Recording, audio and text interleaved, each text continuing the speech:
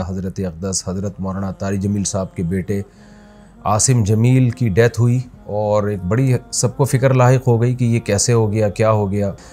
जो हज़रत का जो बेटा है, ये बचपन से ही किसी दिमागी बीमारी में मुबतला था और इलाज भी हो रहा था। हज़रत जो ज़िम्मेदारियाँ एक बाप की होती हैं, वो औलाद के लिए वो ज़िम्मेदारियाँ पूरी करने में लगे हुए थे, लेकिन ज़ाहिर है कुछ चीज़ें अल्लाह की तरफ़ से होती हैं, इंसान उसमें बेबस होता है। सबसे पहले तो हम दुआ करते हैं अल्लाह ताला उसकी मफ़रत फरमाए और हज़रत अकदस, हज़रत मौलाना तारिक जमील साहब और उनके तमाम लवाहिकीन, बेटे की वालदा जो थी, उनको भी और भाइयों को अल्लाह सब्र जमील की तोफ़ी अता फ़रमाए। यहाँ बहुत से लोग ये सवाल उठा रहे हैं कि इतना दीनदार घराना और बेटे ने ख़ुदकुशी कर ली। हर ख़ुदकुशी डिप्रेशन में ही होती है, टेंशन में ही होती है। खुशी में तो कोई भी ख़ुदकुशी नहीं करता। याकूब अलैहिस्सलाम को हम देख लें ना कि सारी ज़िंदगी बेटे के गम में रोते रहे, मगर ख़ुदकुशी की तरफ़ नहीं गए। अमल को ख़ुदकुशी, करार देना, ये किसी भी तरह से ये बात दुरुस्त नहीं है और ये एक इल्ज़ाम है और जिस इस इल्ज़ाम का जवाब आपको क़्यामत के दिन देना पड़ेगा। स्थान पर कुछ कैफियात ऐसी आती, आ जाती हैं कि जिसमें वो अपने कौल अमल का ज़िम्मेदार नहीं होता और उसके कौल अमल पे उसको ना गुनाह मिलता है, ना उसको दुनिया में सज़ा मिलेगी, ना आखिरत में सज़ा मिलेगी। ये वो जब है जब इंसान की दिमागी सलाहियत काम करना छोड़ दे। तलाक़ आपको मालूम है कितना हसास मामला है। शदीद गुस्सा में भी अगर इंसान हो तो तलाक़ वाक़ हो जाती है। सलातन जिद्दन जिद्दन वहज़लहन जिद्दन इस हदीस की रोशनी में। रहीम नहमद वसली रसूल करीम। में गुजशत रात एक बहुत ही अफसोसनाक वाक़ पेश आया। हज़रत अकदस, हज़रत मौलाना तारी जमील साहब के बेटे आसिम जमील की डेथ हुई और एक बड़ी सबको फ़िक्र लाक हो गई कि ये कैसे हो गया, क्या हो गया। अब उनके बेटे का मौलाना यूसुफ जमील साहब का बयान सामने आया है कि उसने खुद को गोली मार के हलाक किया और डिप्रेशन का वो पेशेंट था।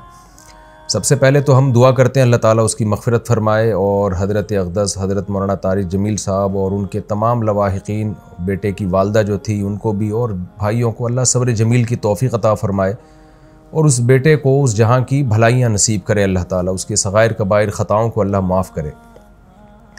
मैं जो ये बयान रिकॉर्ड करवा रहा हूँ, इसका एक बड़ा मकसद जो है वो उन लोगों को जवाब देना है जो इस अमल को ख़ुदकुशी करार दे रहे हैं। क्योंकि मैंने भी कुछ कमेंट्स पढ़े हैं, कुछ लोगों के नेगेटिव कमेंट्स हैं। आपको पता है कि दीनदार तबके की तरफ़ से कुछ लोग ऐसे मुखालिफ लोग हैं के, दीनदारों के, कि उनको मौका चाहिए होता है प्रोपेगंडा करने का।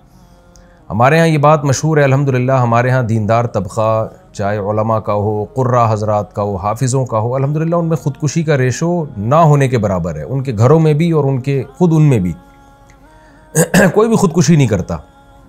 और ये बात बड़े फ़ख्र से बयान की जाती है कि कारी हजरात की तनख्वाहें देखें आप आइमा कराम की तनख्वाहें देखें, उनके मसाइल देखें, उसके बावजूद वो ख़ुदकुशी की तरफ़ नहीं जाते, इसलिए कि अल्लाह ने उनको सब्र दिया है। और याकूब अलैहिस्सलाम को हम देख लें ना कि सारी ज़िंदगी बेटे के गम में रोते रहे, मगर ख़ुदकुशी की तरफ़ नहीं गए। तो यहाँ बहुत से लोग ये सवाल उठा रहे हैं कि इतना दीनदार घराना और बेटे ने ख़ुदकुशी कर ली। इसका जवाब मौलाना यूसुफ जमील साहब की तरफ़ से अलहमदिल्ला आ चुका है कि वो भाई डिप्रेशन का पेशेंट था वो, उसको इलेक्ट्रिक के झटके दिए जाते थे, मेडिसन खाता था वो। और डॉक्टरों ने ये भी हिदायत की हुई थी कि इनके, इसके पास कोई ना कोई रहना चाहिए, कुछ भी कर सकता है। तो ये जवाब मैं समझता हूँ, काफ़ी है उन लोगों का मुँह बंद करने के लिए जो इस अमल को ख़ुदकुशी करार दे रहे हैं। लेकिन आपको पता है जो फितना परस लोग होते हैं, उनको बातें करनी है। बाज़ लोग ये भी तबसरा कर रहे हैं कि हर ख़ुदकुशी डिप्रेशन में ही होती है, टेंशन में ही होती है। खुशी में तो कोई भी ख़ुदकुशी नहीं करता। तो देखें, ये टॉपिक डॉक्टरों का है। डॉक्टर बताते हैं और हमने मुशाहिदा भी किया है कि डिप्रेशन दो तरह की होती है। एक डिप्रेशन तो आम लोग जो दुनिया की मोहब्बत में डिप्रेशन में गए हुए हैं। एक डिप्रेशन वो होती है जो किसी दिमागी बीमारी की वजह से होती है। इसमें दीनदार लोग भी मुबतला हो सकते हैं और इसका कोई इलाज, इसका इलाज ये नहीं है कि उसको सब्र की तलखीन की जाए। इसका इलाज मेडिसन होती है। दिमाग में कुछ केमिकल आगे पीछे हो जाते हैं। ऐसे बहुत सारे पेशेंट हमने अपनी ज़िंदगी में देखे हैं। बहुत अच्छे लोगों को जिन्होंने बड़ी बड़ी टेंशनें झीली हैं, बर्दाश्त की हैं। लेकिन वो बैठे बैठे डिप्रेशन में चले जाते हैं मेडिसिन लेते हैं तो सेट हो जाते हैं। वो दिमाग के कुछ केमिकल हैं जो आगे पीछे हो जाते हैं। यही वजह है और ये नई बीमारी नहीं है, सदियों पुरानी बीमारी है। यही वजह है कि कराम ने ये मसला तलाक़ के मसाइल में बयान किया और कत्ल, कसास वगैरह के मसाइल में बयान किया कि इंसान पर कुछ कैफियत ऐसी आती, आ जाती हैं कि जिसमें वो अपने कौल अमल का ज़िम्मेदार नहीं होता। और उसके कौल अमल पे उसको ना गुनाह मिलता है, ना उसको दुनिया में सज़ा मिलेगी, ना आखिरत में सज़ा मिलेगी। ये वो जब है जब इंसान की दिमागी सलाहियत काम करना छोड़ दे। तलाक़ आपको मालूम है कितना हसास मामला है। शदीद गुस्सा में भी अगर इंसान हो तो तलाक़ वाक़ हो जाती है। सलातन जिद्दन जिद्दन वहज़लहन जिद्दन इस हदीस की रोशनी में। लेकिन ने बयान किया कि अगर कोई डिप्रेशन का पेशेंट है और उसके पास कराइन है और वो उसका दिमाग सही काम नहीं कर रहा, ऐसी सूरत में वो बीवी को सौ तलाक़ें भी दे देगा तो नहीं होंगी। इसलिए कि उसका दिमाग ही काम नहीं कर रहा है ऐसे मौके पे। तो जब तलाक जैसे मसले में हम कराम, आज से सदियों पहले एक स्ट्रेस और डिप्रेशन का मरीज़ जिसका दिमाग काम करना छोड़ दे, उसके इस अमल को तलाक करार नहीं देते, वो ज़बान से कुफरी या कलिमात अगर ज़बान से निकालेगा तो वो काफिर नहीं होगा। हालाँकि कुफर तो मज़ाक में भी अगर आप कुफरी या कलिमात ज़बान से निकालते हैं तो आप काफिर हो जाते हैं, लेकिन इतना बड़ा जुर्म भी माफ़ कर दिया अल्लाह ताला ने, अगर उसका दिमाग काम नहीं कर रहा। तो ऐसे ही खूब समझ लें कि ऐसा डिप्रेशन का मरीज़ अगर किसी को कत्ल कर देता है या अपने आप को कत्ल कर देता है तो वो ना दुनिया में मुजरिम है, ना अल्लाह अल्लाह के यहाँ वो मुजरिम है। उसमें मलामत करना और किसी को बुरा भला कहना या कोई नेगेटिव बातें करना, ये जो बातें करने वाले लोग हैं वो मुजरिम हो जाएँगे। तो एक डिप्रेशन वो होती है जो दुनिया से बे, दुनिया की मोहब्बत की वजह से, दुनिया की छोटी छोटी बातों को आप बहुत ज़्यादा बढ़ा लेते हैं।